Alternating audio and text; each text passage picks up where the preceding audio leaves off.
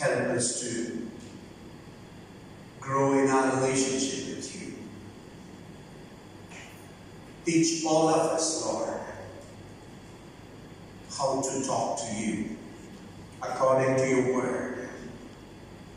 We thank you for the plans that you have in store for us.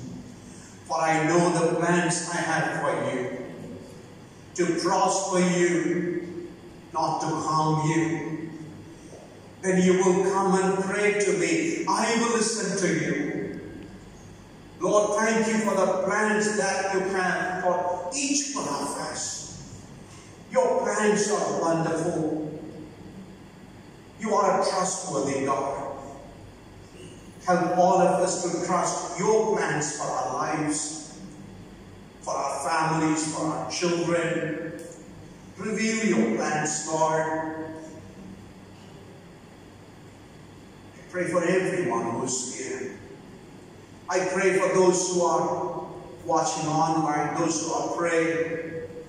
Bless your children. Help them to pray. I pray especially for those who are overwhelmed by trouble and sorrow. Lord, I pray that deliver them and let them know that you are there for them. Strengthen them, Lord. We thank you, Master, that you are the prayer answering God. You never change, Lord. Your words never change. You are able and more than able. Strengthen our faith, Lord, in you. Help us not to depend on ourselves, but Lord, help us to depend on you in every situation. We thank you, Master. We praise you. I pray for those who are celebrating their birthdays, wedding anniversaries. Bless them. Bless them, Lord. May your hand of protection rest upon them. Rest upon their families.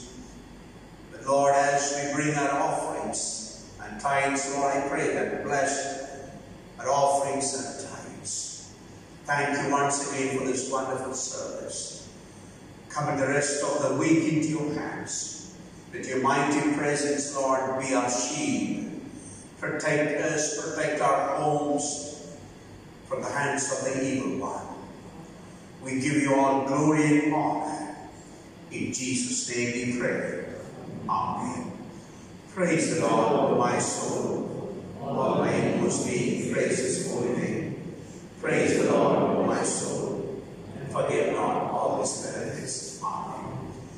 May the grace of the Lord Jesus Christ, love of God the Father, and the fellowship of the Holy Spirit be with all of us from now and forevermore.